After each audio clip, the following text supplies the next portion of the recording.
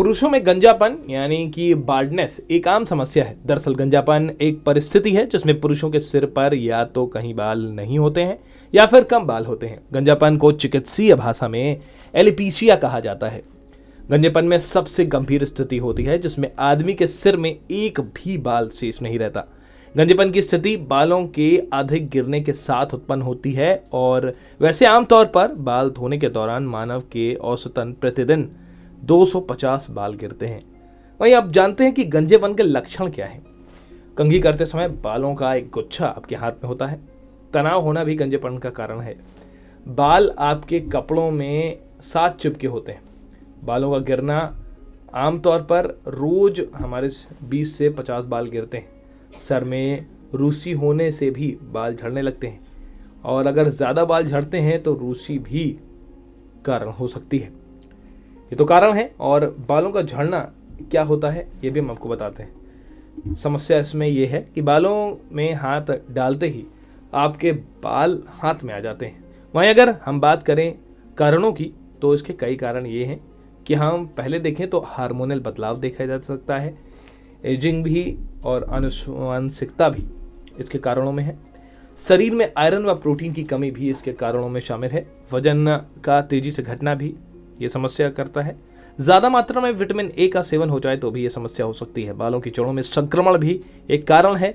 Trauma का भी कारण होता है। वहीं गर्भनिरोधक गोलियों का ज़्यादा सेवन करना भी इस समस्या को बढ़ावा देता है।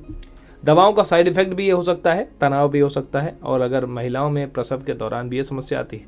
महिलाओं में मैनोपॉज के दौरान भी ये समस्या हो सकती है। कैंसर के इलाज कीमोथेरेपी के बाद भी ये समस्या होती है।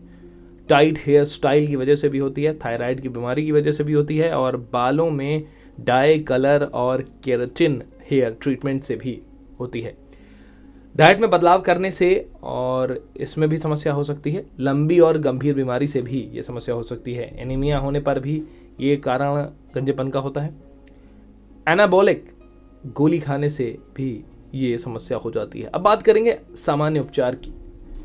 गंजेपन का सामान्य उपचार क्या है? यानी जनरल ट्रीटमेंट ऑफ़ ब्लाडनेस बालों के लिए दही कंडीशनर का काम करता है। ये बालों के गंजेपन को दूर करने में काफ़ी काम करता है। वहीं प्याज में मौजूद सल्फ़र सिर में रक्त का प्रभाव को तेज करता है। इससे गंजेपन की बीमारी ठीक हो सकती है। चुकंदर के पत्तों को मेहंदी के पत्तों के साथ ग्राइंडर में पीस कर पेस्ट बना लें। इस पेस्ट को सिर पर लगाकर गुनगुने पानी से धोने से काफ़ी असर दिखेगा। गंजेपन से लड़ने के लिए नींबू का रस को कई तरह के तेलों में मिलाकर लगाएँ और सिर में मालिश करें। वहीं मेथी के बीज को कूट कर पेस्ट बना लें और सिर में जहाँ बाल नहीं है वहाँ लगा लें। एक घंटे तक पेस्ट लगा हुआ छोड़ दें। बाद में सिर को पानी से धो लें। काफ़ी असर मिलेगा। रात में सोते समय बालों की मालिश नारियल तेल से 10 मिनट तक करें। वहीं गंजेपन के इलाज के लिए एलोवेरा जेल को सिर पर लगाएँ और अच्छी तरह से सिर में मसाज करें। आखिरी उपाय बताऊँगा, अरहर की दाल को पीस कर पेस्ट बना लें। इस पेस्ट को सिर पे प्रभावित क्षेत्र में लगाएँ, जल्द ही असर दिखने को मिलेगा। चूरन हेल्डेक्स से अंकुर की रिपोर्ट।